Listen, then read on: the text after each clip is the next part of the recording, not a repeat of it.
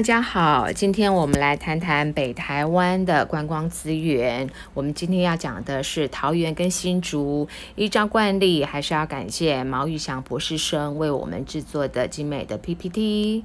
好，今天的教学目标有三个：一、桃园国际机场是进出台湾的重要门户，而所在地桃园除了是北台湾的交通枢纽，也有其独特的观光资源。其中有一代领袖长眠于此，曾经是陆客的必访圣地，是哪里呢？第二，全台有三大横贯公路，各位于何处？北横公路的山林之美，加上新建的天空步道等，如何为桃园观光业注入新活力呢？三，各位对 long stay 有概念吗？如何将景点玩得更深入，拓展得更多元呢？我们就一一来看吧。首先讲一下桃园。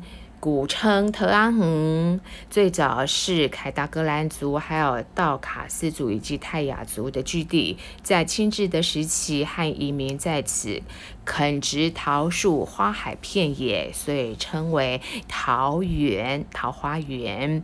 闽籍的移民分布在沿海的地带，而越籍以及客家的移民则聚集于内陆。族群呢，分布非常的多元。现在可以说桃园是科技新都，因为呢就位于首都台北市的生活圈，而桃园市因为离首都非常的近，所以有很多很重要的大型投资跟建设。除了国际机场之外，近年来发展非常的迅速，吸引人口的移入，也形成了桃园市、中立市等。都会区，嗯，更正一下，现在其实都变成是桃园市的桃园区，还有中立区。好，这里呢，因为是都会生活，大家赚的钱就是想花钱，所以有非常多的商场，Gloria Outlet。华泰名品城是全台首座美式露天 o u l e t 的商场，在这里呢，集结了非常多的国际精品品牌，各种流行的时尚、运动、休闲品牌，提供消费者欧美式 Outlet 的购物经验。好，甚至呢，你可以看到它的主题布置也直接把自由女神从纽约市搬到了桃园市。好，桃园景福宫，这是非常有名的庙宇，创建于清乾隆十年，也就是一七四五年。由于呢当时瘟疫盛行，当地漳州人遂建庙祭祀开漳圣王，祈求庇佑。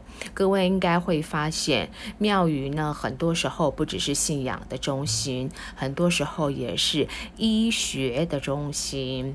后来更演变成是教育的中心、美食的中心、文化的中心。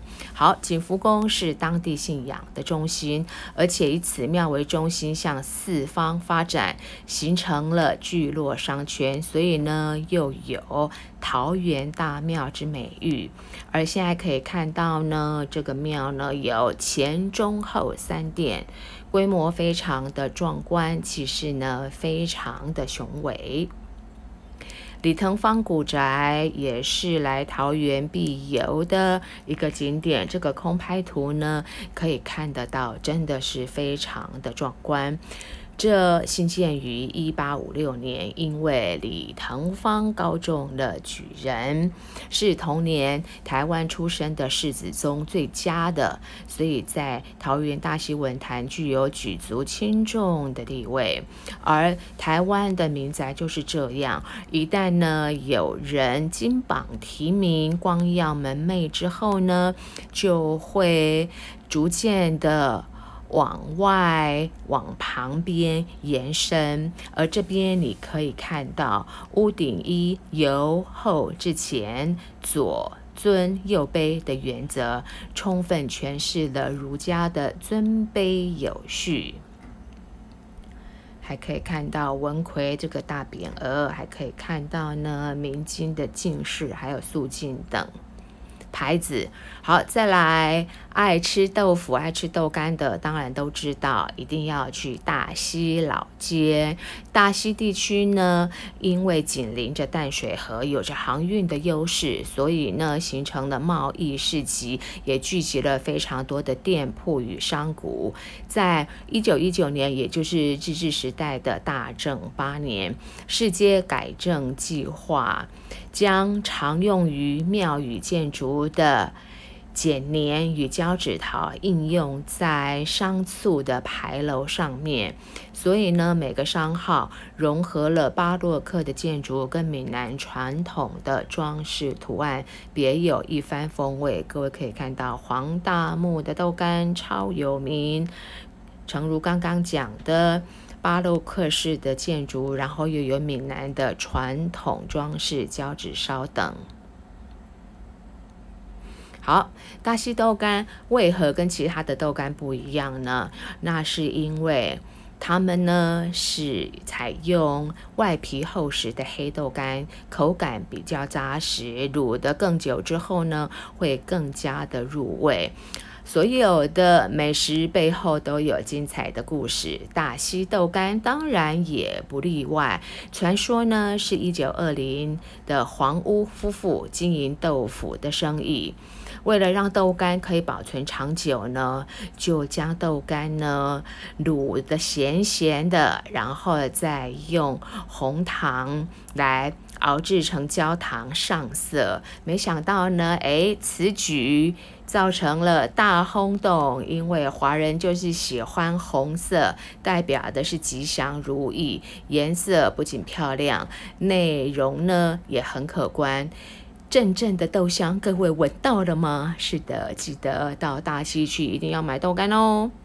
好，接下来刚刚有讲到桃园市忠烈祠暨神社文化园区，前身为桃园的神社，创建于一九三八年。创制的背景是因为一九三七年台湾总督府推行一庄一神社，所以呢留下来这个历史的痕迹。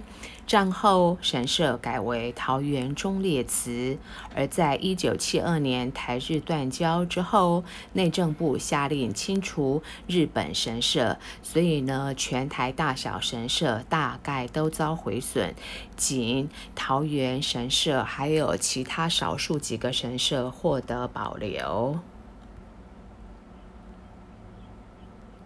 接下来，这是很有趣的一座糯米桥。糯米怎么做桥呢？没错，又是古人的智慧。像你如果来到台南去看看台湾最古老的城墙，你会发现他们用的是三合土，里面其实就用到了糯米以及颗壳灰。和糖汁，因为这些都是很有粘性的东西，而且很难想象。这个可以屹立数百年而不摇。好，现在我们来谈大平虹桥。这是一九二三年当地乡绅所发起新建的。因为呢，这个地方各位可以看得出来，溪还蛮宽的，要过河呢不方便，所以士绅号召就盖了这么一座桥，取名叫大平，象征永垂不朽、平平安安。因为桥身是以红砖堆砌而成。所以当地人呢也把它叫做虹桥。为了要让桥的寿命更长，结构更坚固，建桥师傅呢在里面的水泥和石灰添加了糯米水，所以又别称为糯米桥。各位可以看到啊，真的也是完美拍照的景点。好。刚刚简单的提了桃园的一些有趣的观光资源，包括保留下来的神社，还有呢非常多的购物商场。但是老师喜欢爬山，我相信很多人是喜欢生态旅游的。老师年轻的时候最喜欢参加救国团的活动，那时候呢不管是北横、中横、南横，老师都是走过的一步一脚印。那现在很快介绍一下北。北横。北横呢有瀑布。步道、古道，从入门款到进阶版都有。如果喜欢瀑布的，想要享受清新负离子和清凉的溪水，就可以去幽霞云瀑布或者是小乌来瀑布。那当然，如果要感觉巨大洞穴魔力的。也是完美拍照景点的，那就是三明的蝙蝠洞。我个人的最爱还是拉拉山的巨木群或神木群。对我来说，他们真的好像是手拉着手的巨人们，深呼吸，还可以享受美味多汁的水蜜桃。再来讲一讲泰雅族的古道巴林古道，在这里不仅可以享受部落之美，还可以探索一下沿途的自然景观。另外也有自助导览东眼山步道，全长四公里，其中还有一座台湾的小百岳。另外脚板山践行也是不错的，就在复兴乡的蒋公行馆。好，简单的说，这就是桃园的观光资源。继续往下看哦。刚刚老师也提到了 long stay，嗯，这其实是。未来旅游的一个趋势，什么叫 long stay 呢？简单的说，就是希望客人不要走马看花，而是可以在这个市区停留的久一点。那如何让客人停留的久一点呢？第一，必须要结合社区的力量，扩充在地文化的景点。所以不是一个人，而是整个社区必须要达成这样的共识。第二呢，我们不鼓励走马看花，我们不鼓励上车睡觉，下车。拍照，而是希望创造一些有特色的 stuff。那个可能是东西，可能是文化，可能是活动，可能是节庆，也可能是 DIY。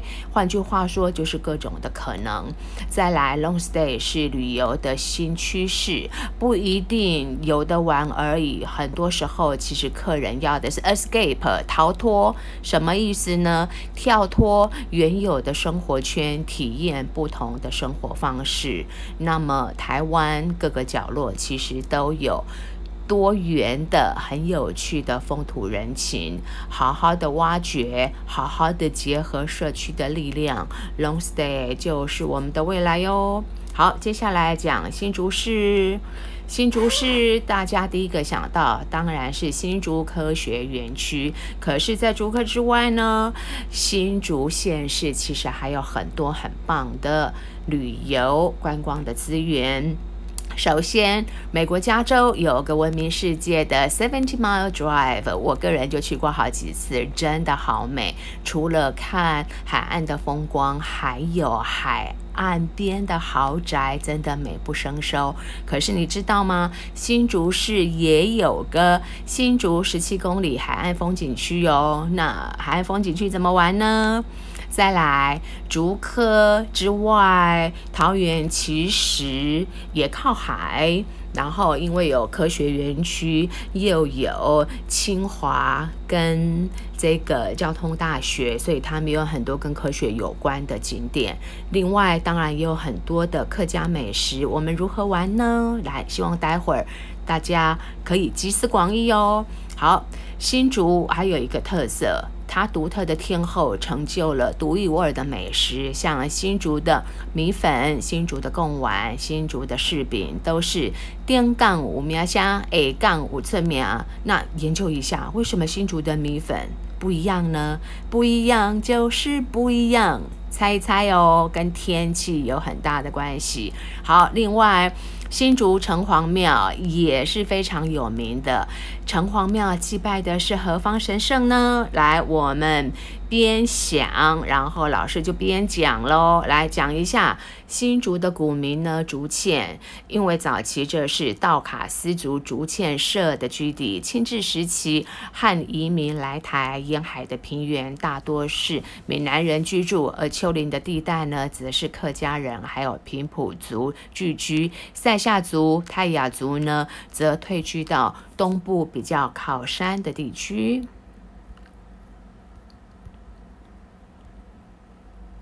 好，丰城竹科两个点，第一个，为什么叫丰城？真的，九江风超强的，强起来好像是刮台风呀。竹科因为有两大。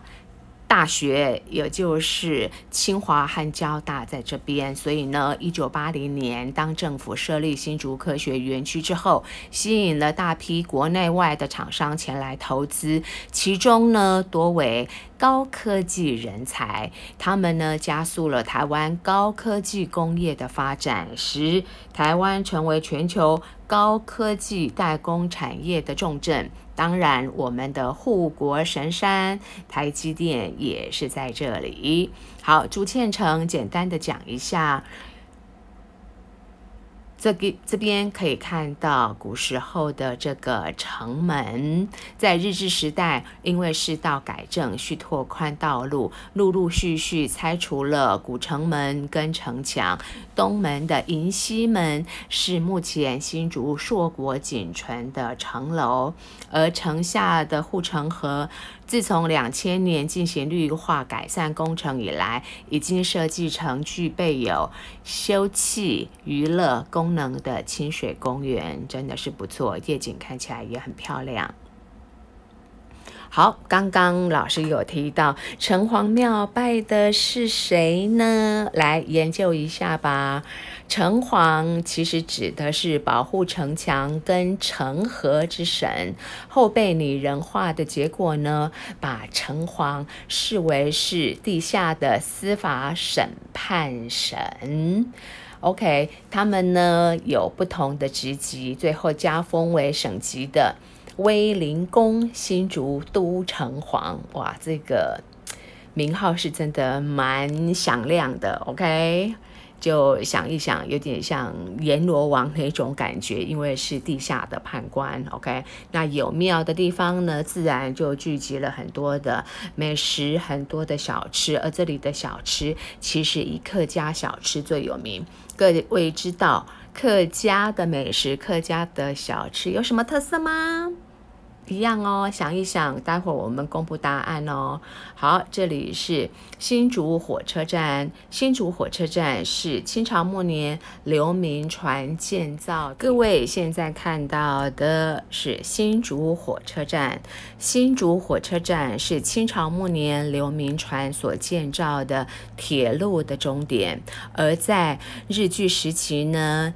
将刘铭传所建的铁路呢延伸，然后有些部分是改线，也就成了目前我们看到的这个火车站。这是一九一三年竣工的，这个建筑非常有特色，结合了巴洛克跟哥德风。各位可以看到陡斜的屋顶、厚实的红砖墙以及华丽的希腊式柱头，具有庄严点缀的。异国风情，也是台湾目前最古老的现役车站哦。好，北浦老街刚刚说了，嗯，新竹非常有名的什么？是的，有米粉，还有柿饼，当然还有俗称碰红蝶的东方美人茶。好，讲一下北浦老街，这是呢清道光十五年，也就是一八三五年，江秀鸾奉令同闽人所组成的金广福。基于拓展，然后变成了街道，住屋紧邻相连，以达到防御的效果。这在鹿港也可以看得到，当时真的是。嗯，盗匪横行，或者是因为人民求生不易，常常会有一些不良的治安情形，所以呢，就挨家挨户，大家守望相助。好，然后讲点开心的，开心的是什么呢？这边有特产，特产就是借着九江风制成的柿饼、柿干，以及呢，偶尔含几鬼饼啊。那这边可能要考各位，什么叫九江风呢？九江风其实就是农历九月，也就是入秋之后，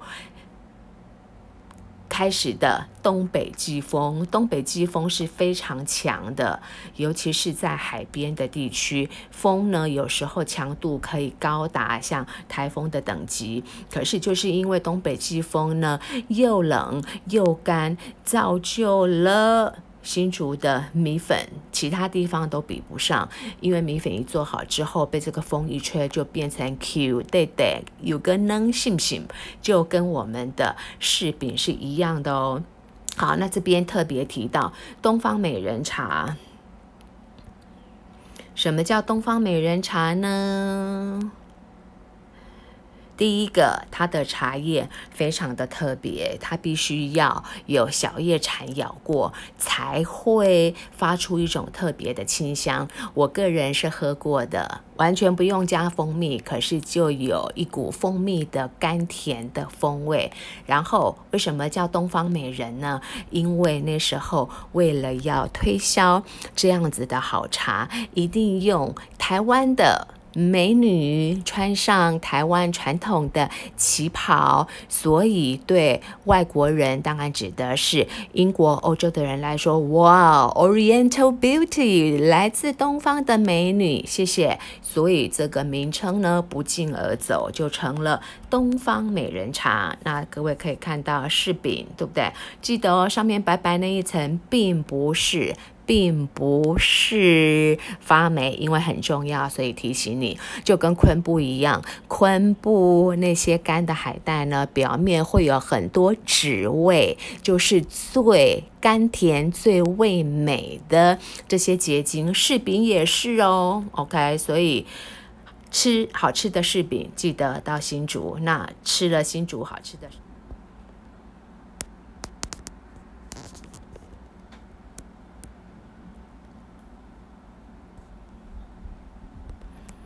好，接下来还是讲北浦老街的古迹金广福公馆，就是当时艾肯总部以及指挥中心。那刚刚提到的江秀銮，也就是金广福的第一代。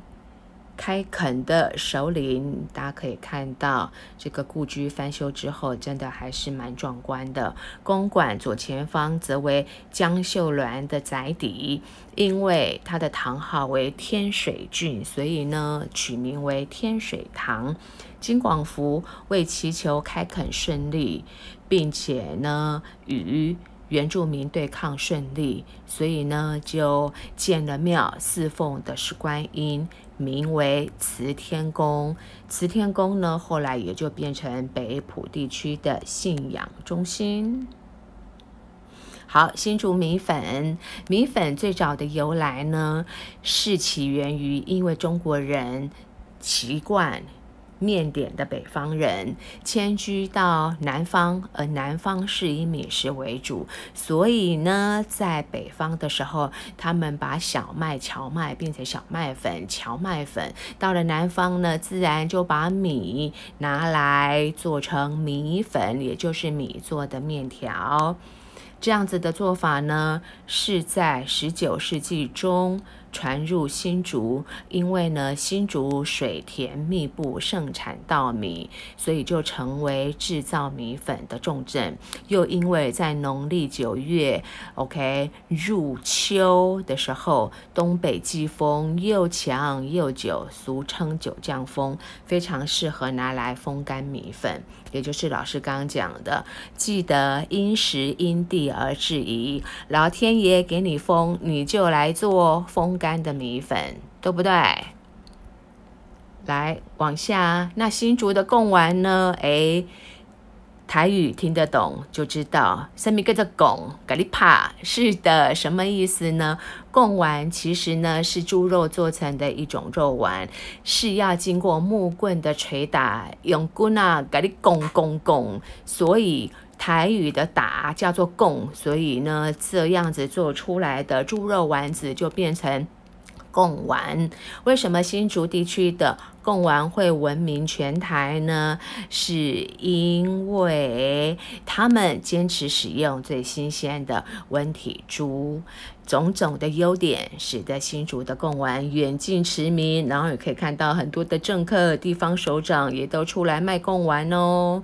好，来。那当然，如果喜欢吃丸子的，应该都知道，不只是贡丸，现在还有什么呢？哎，香菇丸，或者是香菇的贡丸，甚至呢，在这个嗯海边的地区，还有各种的鱼丸、旗鱼丸啊、鲨鱼丸啊等等哈。所以老师常说，吃美食是很赞的，但希望各位在吃美食的时候也想一想，嗯，这个地方很特别哟，为什么会做鲨鱼丸？为什么会做贡丸或香菇丸？新竹。这样玩，刚刚提到的新竹十七公里海岸线，被誉为北台湾最美的自行车道。从起点的南寮渔港到鱼林天梯、看海公园、香山湿地、树琴桥、海山渔港，到香山的沙丘，想骑就骑，想停就停，大家不妨去看看哦。入秋之后的九降风，造就了新竹米粉和柿饼，记得哦。老天给你风，你就做米粉跟柿饼吧。另外，客家小炒有什么特色呢？很咸、很香、很下饭。我的母亲是客家人，所以我知道客家人真的是非常的勤俭持家。为什么要做的咸呢？因为当时物资不易，所以呢，一定要用大量的盐来腌制，才能够保存到那些食品。那既然很咸，自然就会很下饭，是这样没错吧？